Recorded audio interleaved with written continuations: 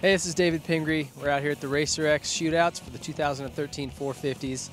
I uh, had a great day today. We had some great test riders with us. Had some rain. We had some different weather. Uh, it's been a lot of fun. So after about a million laps, uh, for me, the clear-cut winner in this in this shootout for me was the Suzuki 450. Um, I can jump on and just right away I'm comfortable.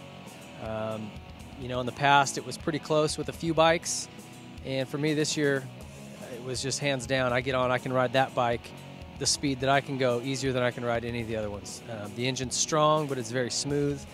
Suspension's a little stiff for me, just it's oversprung, you know, which most of the bikes are. I got to really open up uh, compression clickers and add extra sag and things like that. So the suspension's not perfect, but even stiff, um, it felt to me the most comfortable and just the best all-around package.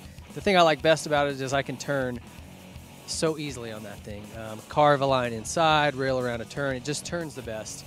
And uh, to me, when I can get around corners easy, um, that's, that's just when I'm the most comfortable. Uh, the second best bike, which was a surprise to me, I really like the KTM 350.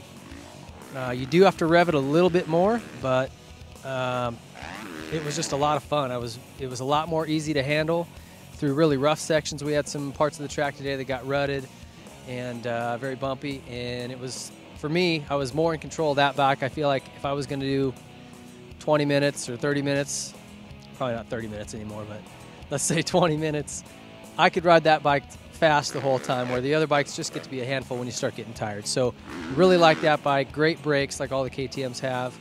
Um, super strong engine. To me, a much stronger 350 engine than they had in the past. More torquey. Doesn't give up as much to the 450s coming out of a turn. Um, third, I'm going to have to put the Kawasaki.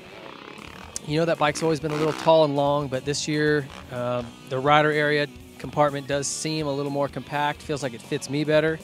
Um, great motor on that bike. The suspension's great. Uh, no issues with that whatsoever. Uh, a little bit loud. I wish they'd kind of get the muffler sorted out. Feels like there's no packing in it. It's super loud, but um, that's just a minor complaint, really. Um, the rest of the bikes, I really like the KTM 450 also like I said, I just felt a little more comfortable moving the 350 around, but the 450 is a great bike also. Uh, super great motor. I mean, going up the big hills here, uh, just pretty much everything you can handle. Suspension worked well, no issues with the suspension on the KTM 450 at all.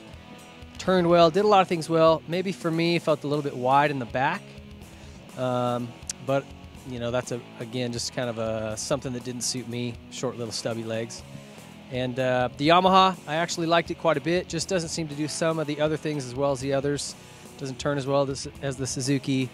Uh, maybe not quite as well rounded, but I didn't have the, the issues uh, that a lot of people do with it. I really liked it. Um, the Honda definitely had some issues getting it to turn today. Uh, getting it to settle into a turn. I couldn't find a balance with it was my biggest problem. The engine's soft and very smooth and linear, uh, but that's a trait they've had for a little while now. Uh, that didn't bother me so much.